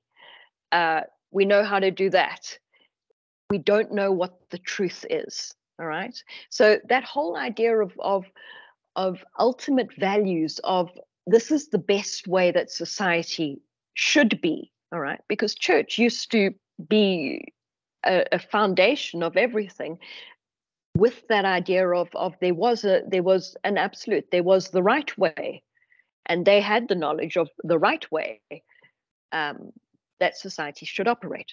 With modernity and uh, the Renaissance and all of that, um, you had that split so that it was no, the church can talk about afterlife, they can talk about what should be up there, all right, but it's the scientists who actually operate with the physical material world and they operate through knowing and observing and testing and experimentation.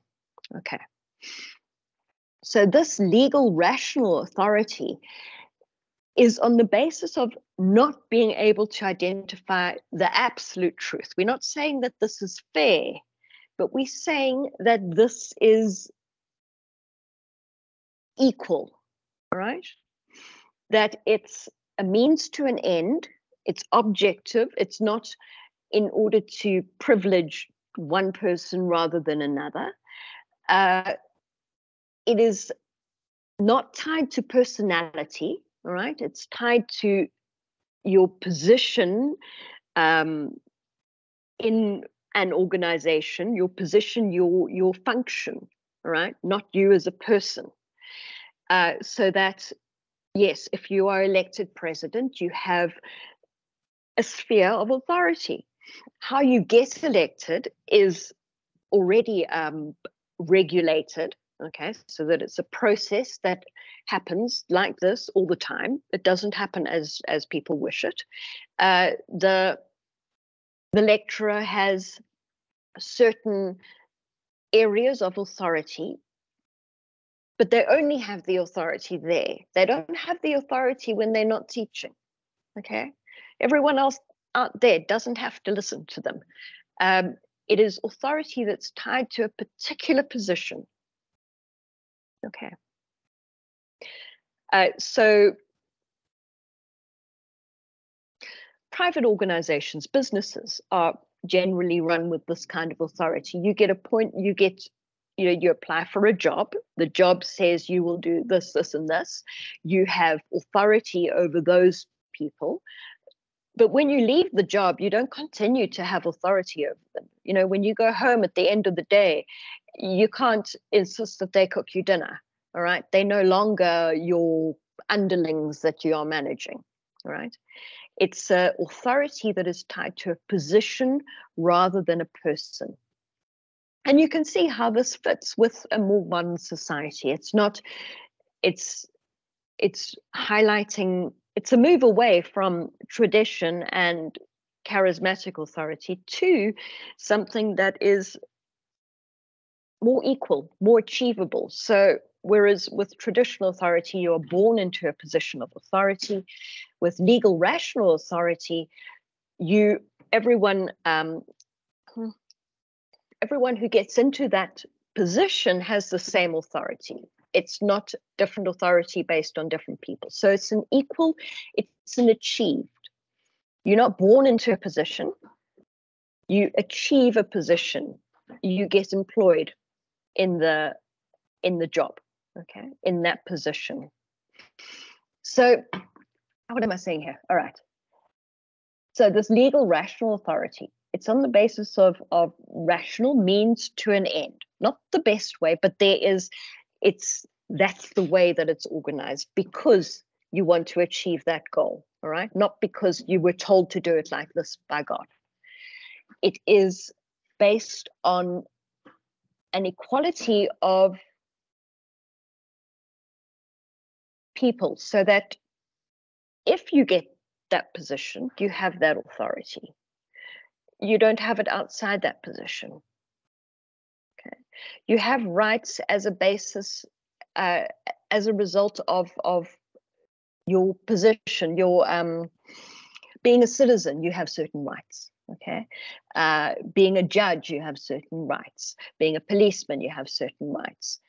Um, it fits with the emergence of industrial society, with capitalism, which draws on values and, and ideolo- ideologies of equality, individual equality, and achievement, yeah, achieved status rather than um, uh, uh, inherent status. Okay. This kind of status, or kind of authority at least, is fundamental to bureaucracy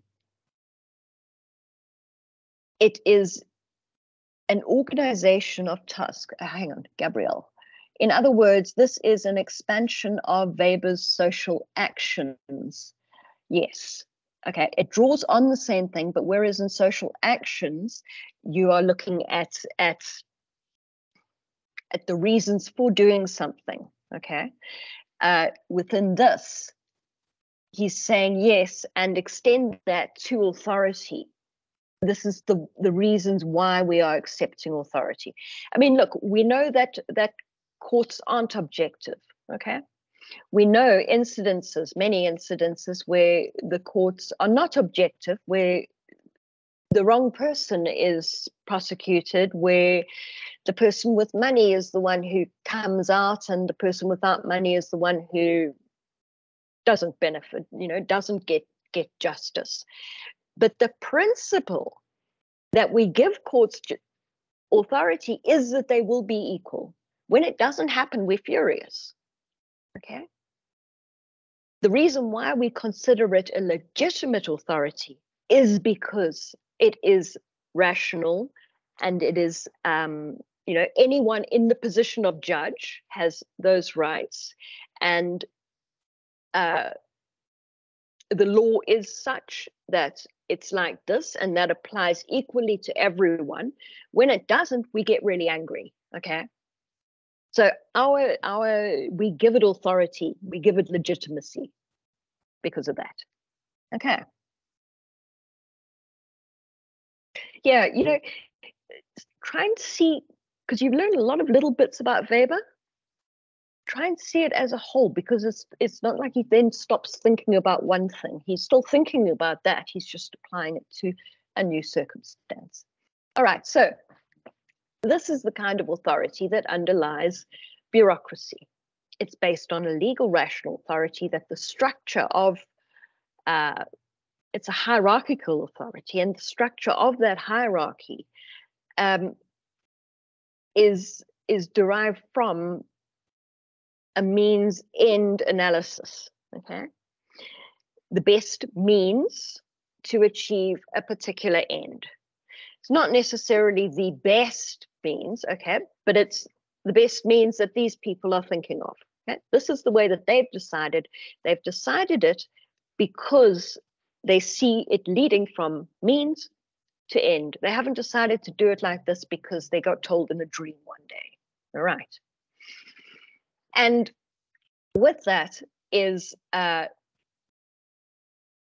differentiation in tasks based on this that that uh, everyone has their own sphere of influence rather than uh, having to do everything or being able to make decisions over everything.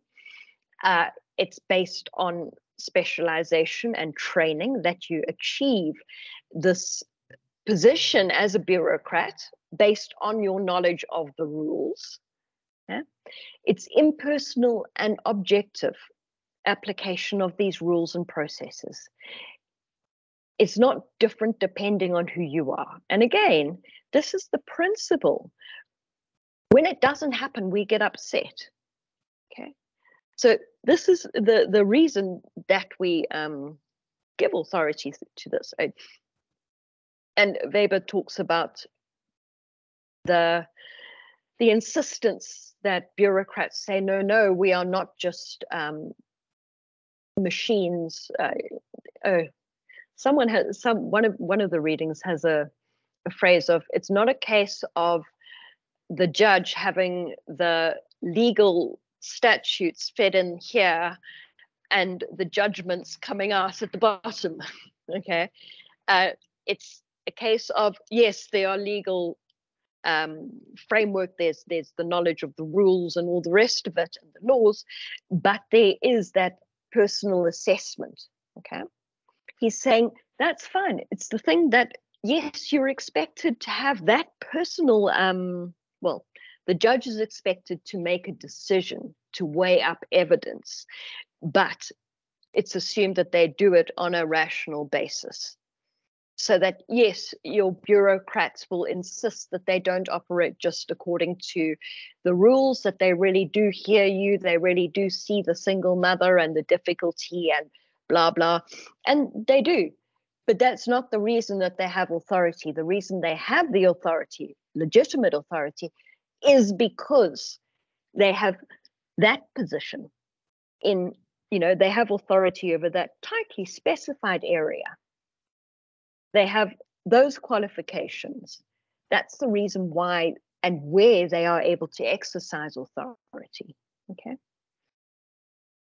They don't have the authority because they are so sweet and nice. They have it because of a position. It gives them authority over a particular area. Okay. And another key characteristic of bureaucracy is record keeping.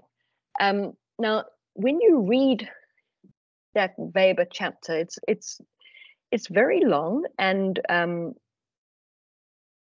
yeah, Albright uh, will give you probably a, a, better chance of of understanding it. Um, there are many things that he identifies around bureaucracy. Okay, what I've tried to do here by identifying five key characteristics is highlight the ones that are most commonly identified as key characteristics. Weber himself covers these, but doesn't necessarily um, do it in the way that I've done it here. You can contest this, okay? I'm just trying to give you a structure to work around. Uh, so, for example, hierarchy of authority. I regard that as authority attached to the office and position, not the person. So um, Weber's argument that uh, bureaucracy rests on, on a monetary economy, that you have to be able to pay in cash to the bureaucrat is part of this because if you didn't pay him or her in cash, they would have to go out and find their own money. And he gives you the example of of um, lords of a manor who would employ someone to collect taxes.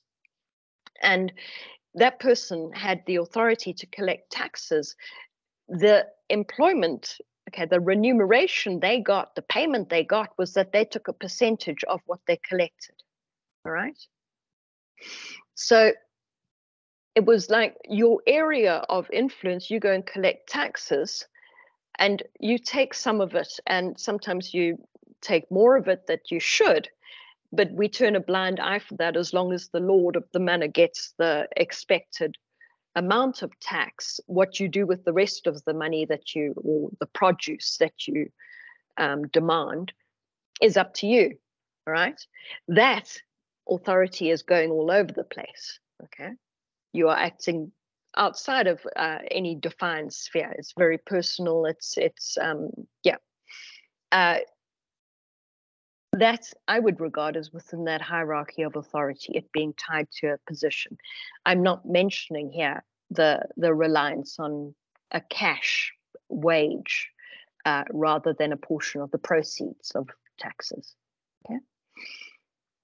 Uh, so don't be terribly het up if you don't like the way this is done, or if you'd rather have some point, uh, in, you know, in some different way. Go for it. Give yourself some sort of a structure to understand it. Another thing that that is very commonly highlighted is that a key characteristic of bureaucracy is administrative secrecy, that those rules and that specialized training is um, the way in which the authority of that bureaucracy is protected is maintained, that you can't question. Um, if you've ever visited a, a public hospital, uh, you know the importance of the files, that you move from one area to another. And if you don't have the file, there's a problem, and only particular people can get you the file. And uh, yeah, there are there are rules attached to who gets to know what, and you don't get to ask why. Okay? The fact that they supposedly have this rational, um, firm reasons for why things are done like that uh, is fine, but you can't question it. Okay, so it's like a, it's an unquestionable authority in that. All right, that that administrative secrecy that it's almost like gatekeeping that it becomes that specialized training and that record keeping that is is the the material the the power that they protect and that they guard and that they prevent any you know the outside people the clients the public from knowing. You don't ask why something happens in some way it just this is the way it happens. Okay. Uh, Now, in terms of bureaucracy and democracy, uh, Weber is actually very, very critical in in how he looks at this. He's not saying that bureaucracy is ideally suited to democracy. He's saying that it has, it is consistent because it's based on this equality right? This objective process, this um, every person is equal, so every person is treated equally in terms of the rules. Everyone has to fill out the form. Uh, anyone who has the qualifications can be employed in that position, right? It emerged with democracy uh, as a challenge to uh, traditional authorities. But inevitably, it is almost because of its rationality that it's going to come into conflict with democracy. He says that very broad, um, well, the objective rationality of it is a process rationality, it's a process um, fairness that everyone must go through the same process, everyone must fulfill the same requirements, fill out the same form. It doesn't say anything about what should be. Okay, it doesn't say anything about the substance. It's a procedural fairness rather than a substantial fairness. so if you don't have money for a brilliant lawyer, you will not have the same benefit of a legal system as someone who does have the money for a brilliant lawyer. Um, that isn't the case. You know, it, it's it's like that substance, your ability to actually benefit from equality. Okay. With bureaucracy, he's saying you can't, and this is because in a very complex society, the only way everyone has different needs, everyone has different values. You abstract to the position where you do have common acceptance, but all you have common acceptance over are the processes, right? The actual content of, um, well, yes, I have access to a legal system. I am treat, I am equal before the law, but if I can't get to the court, then I'm not that that is beside the you know the, the fact that i need money to get to the court or need money to employ the the lawyer is is beyond what the bureaucracy can do. They say no that's that's questions of god. That's ultimate questions of ethics questions of what should be. Okay? Whether it's fair or or yeah whether you should materially have the means is a question that they can't answer. What they can apply equally and rationally, and that is defendability, you know, that this is the way it is because we're achieving that purpose. It's not because I woke up this morning and thought that I wanted to do this. Uh, that that is what they're able to do, right? They don't. They're not able to to proclaim on substance of things so that actually the mass of people, and Weber says, bureaucracy is not the friend of the masses. Bureaucracy is the friend of the people who are already able to work in the society, who already have the resources that bureaucracy assumes. To the unpro- I think he calls them the the propertyless masses he says the propertyless masses are not served by the rational process of, of bureaucracy. Okay.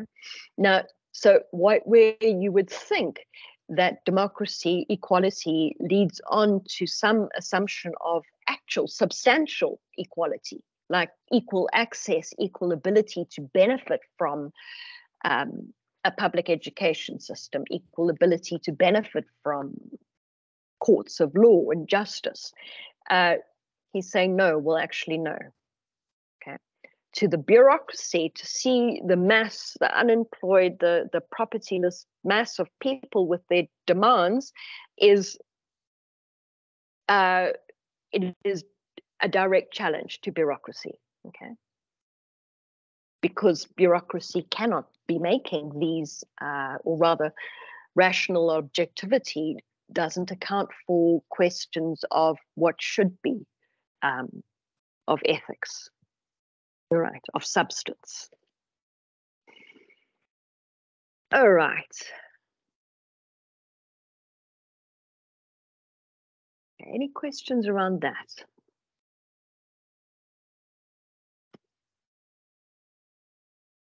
Uh, I've given you the page numbers there in the hope that you will go and read this because not easy to explain in the moment. Um, but go and look at those at those pages, and uh, you'll get the idea. Okay. All right. So when we then look at collective action, and we're saying, let's go back. We're saying that successful social movements become larger. They become larger, and then they need to establish bureaucratic processes in order to be able to meet the needs of the people that they are so that they are representing, the people that they emerged from in the first place. And that's because they lead into bureaucracies, they are then no longer able to uh, meet the needs of, of their people. They, they are less effective at actually representing the interests of people out there. All right, so if you say, okay, well, in social movements, is it inevitable that social movements are going to become bureaucracies? Well, there are different types of authority in social movements. Uh, charismatic authority is probably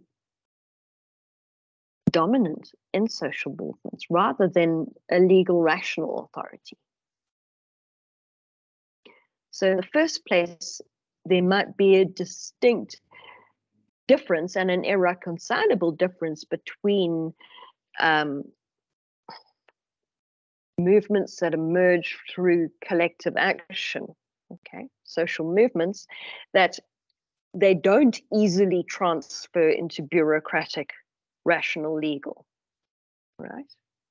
But that isn't, you know, the people in in positions of authority, their authority is based on personal characteristics quite often. Um,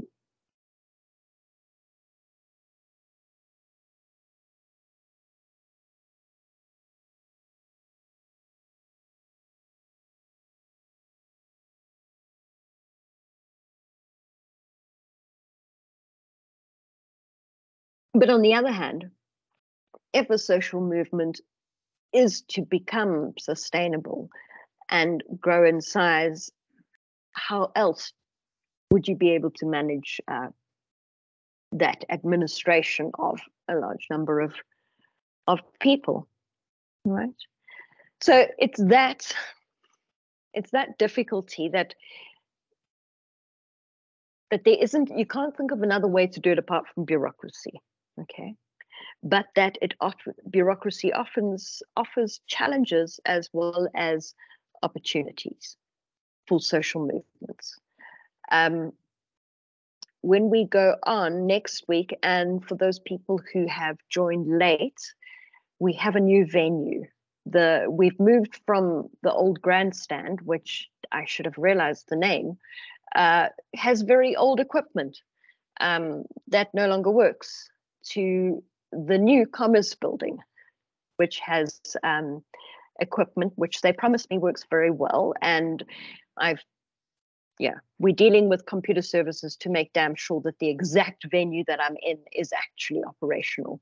But so you will be able to join in class next week. Uh, and what we're going to look at, go on to look look at, is the um, the the opposition, and uh, I don't I don't believe it's an opposition, but the the contest to bureaucracy that there's no way that it doesn't result in an oligarchy in a small number of people using this immense power of bureaucracy in their own interests. And that the rational legal authority doesn't actually continue, that as soon as people are in these positions, they operate to their own personal benefit. Okay.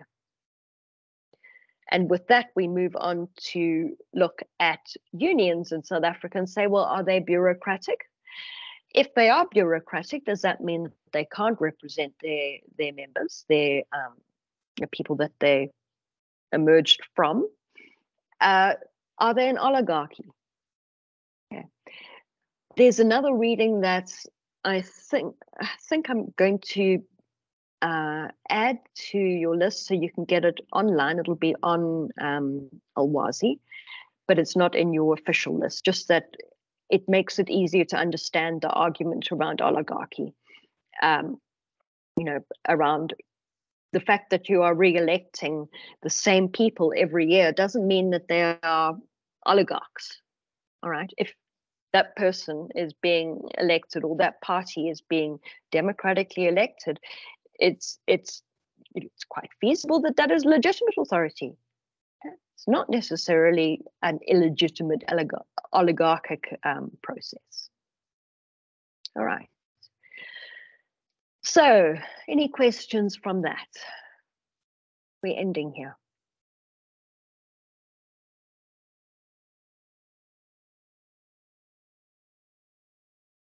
Okay, so hopefully now, yes, Gabriel?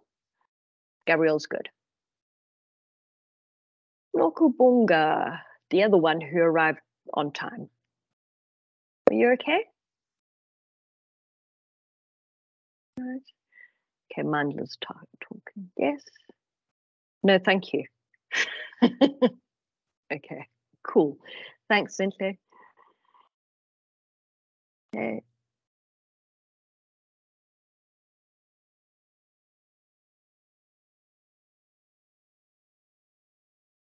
Okay. Right. I'm good. Thank you. Great, Nokubonga. Okay, so um, now that we've kind of met each other, um, think about the questions that you have. I mean, it's great if you can have questions beforehand. There's going to be the one area where I see it's going to be difficult is I don't know if my microphone is going to pick up the questions from the class. And I'll try to remember to repeat the questions that we then discuss. Um, uh, I'm concerned that I won't. Maybe you have to interrupt me and say, what was that question? Okay. Um, please do that. Otherwise, you're not getting the benefit of being in a class. Okay. Um, and maybe we can have the best of both worlds here that we have a group interaction, uh, even though you're not in the same environment. All right. So I will see you on Wednesday. Thank you. Okay and uh, this will be available shortly. It takes a, uh, half an hour or an hour or so to to process itself. All right. Thank you. Have a lovely day. Thank you. You too, Christine. Thanks. Thank you. Bye. Bye, everyone.